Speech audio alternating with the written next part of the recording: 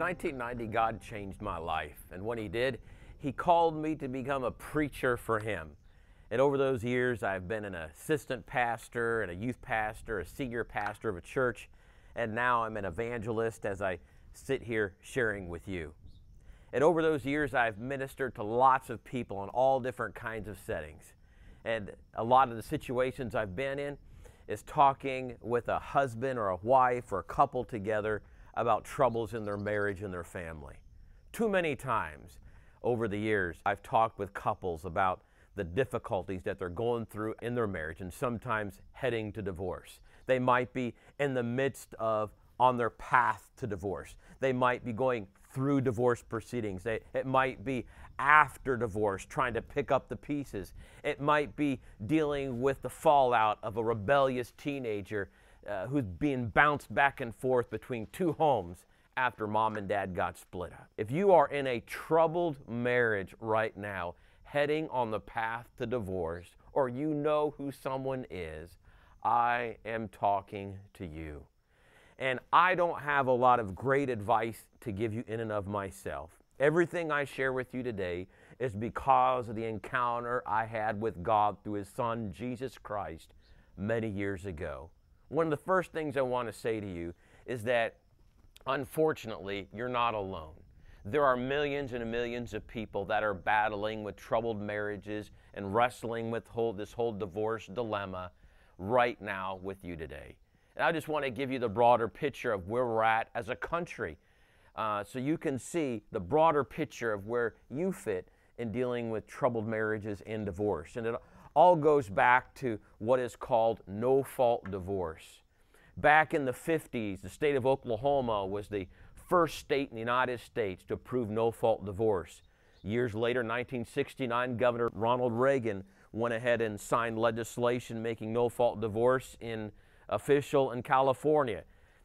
After his political career was over, he looked back on that and said it was one of his biggest political blunders he had ever made.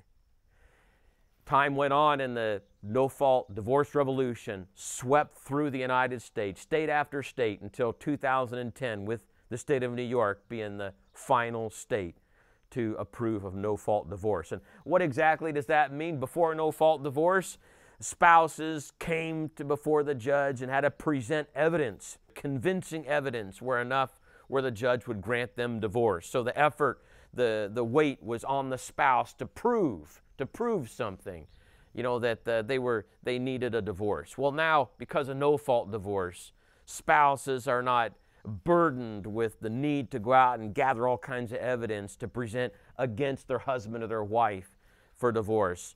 Now, the reasons for divorce are like some of these incompatibility, irreconcilable differences, irremediable breakdown of the marriage. As a result of these no fault divorce laws, the, the, uh, the rates of divorce has just gone through the roof uh, over the last many decades. According to the National Marriage and Divorce Rate Trend Study, 53% of marriages end in divorce. That was as of 2011.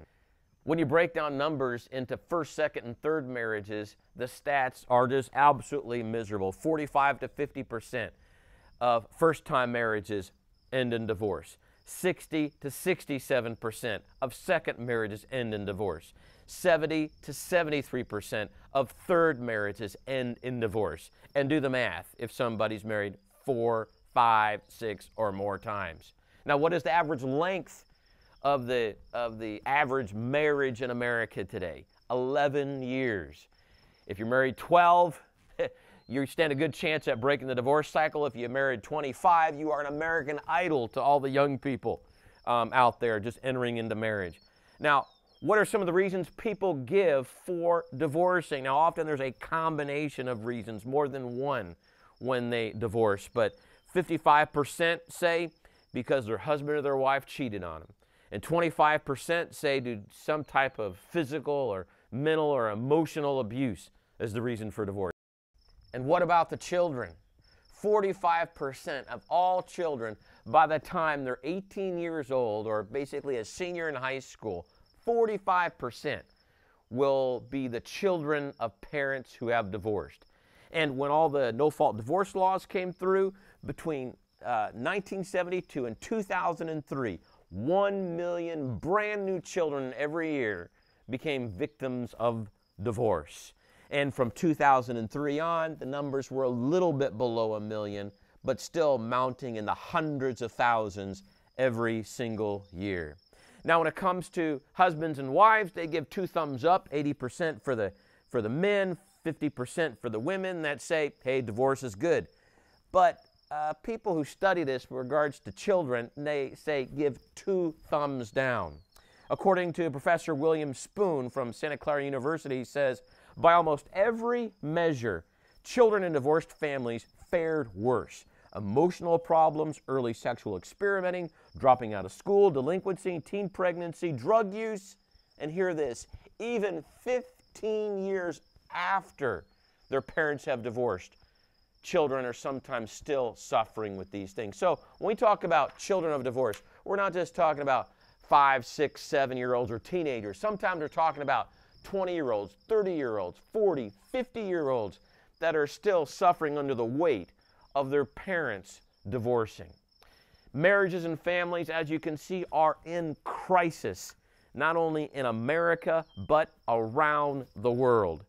Now, when we get married, I've been married for 12 years now. When I got married, I, had, I wasn't thinking about divorce at all on my wedding day. My wedding day, I was focused on making it a beautiful ceremony, filling the sanctuary in the room with lots and lots of people, and having a, a wonderful honeymoon, and beginning my dream of a wonderful marriage. And you know what? Most people are like that. They're not thinking about divorce and annulments and all these crazy things on the day they get married. They're thinking a, a dream, the marriage utopia, building a wonderful family and staying together for the rest of their life. But then all of a sudden, cracks begin to form.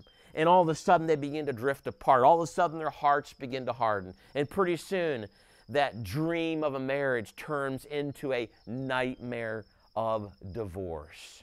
And when we talk about the nightmare of divorce, it was God who created us, male and female. He's the author of us as creation. He, he made you and me. And when God made you and me, He also brought male and female together in the first uh, marriage. But not only did God bring us together in marriage, but also God was the one who established the first official divorce law.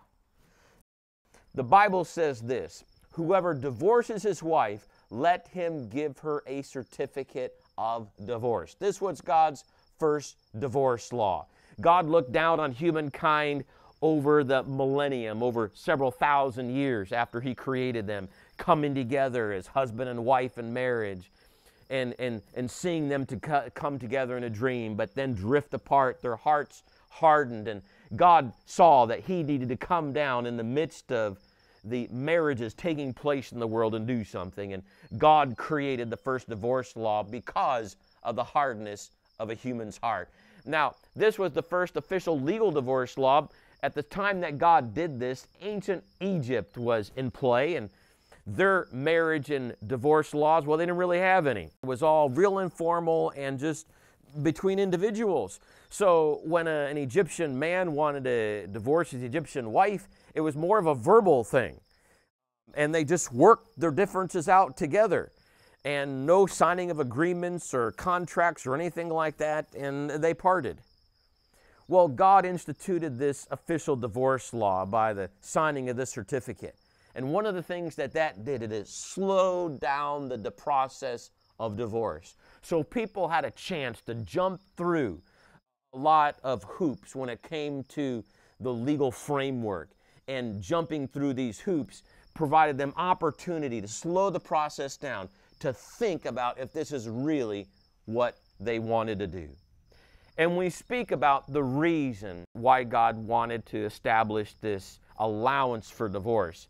We keep in mind that this was the God who said, I hate divorce. So we have on one hand God saying, I hate divorce, and then on the other hand, God making this allowance for divorce. And ultimately, why did God do that? Because of the hardness of the heart. The scripture says, because of your hardness of Heart.